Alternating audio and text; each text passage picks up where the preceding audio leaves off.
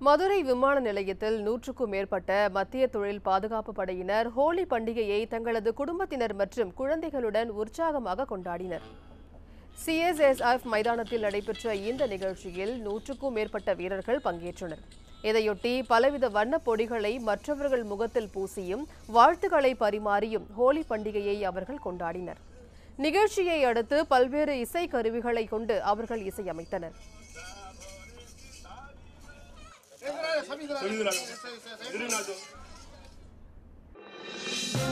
இது போன்ற முக்கிய வீடியோக்களை உடனுக்குடன் தெரிந்து கொள்ள நியூஸ் ஜே யூடியூப் சேனலை சப்ஸ்கிரைப் செய்யுங்கள்.